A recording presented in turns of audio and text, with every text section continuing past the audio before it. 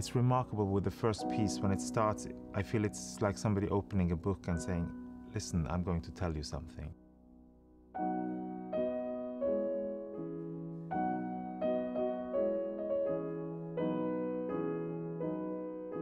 This cycle, the Poetic Tone Pictures, this is program music. You have very serious mystical pieces like Twilight Way. And then you have great dances, virtuoso dances, the Furiant or the Bacchanal.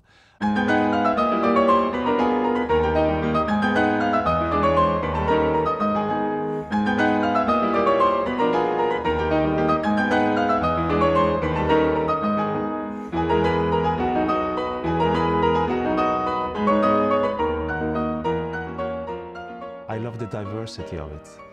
And I love how he can make something very simple into a jewel.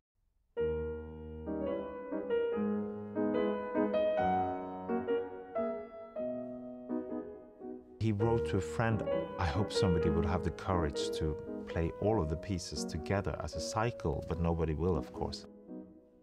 And then I thought, that's great. He meant it as a cycle. They are not just individual pieces.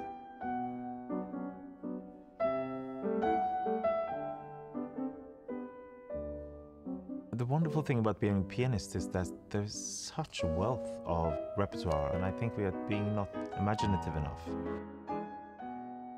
This cycle is virtually unknown outside the Czech Republic, which is, which is very strange for me, and it's therefore so much fun for me to champion it.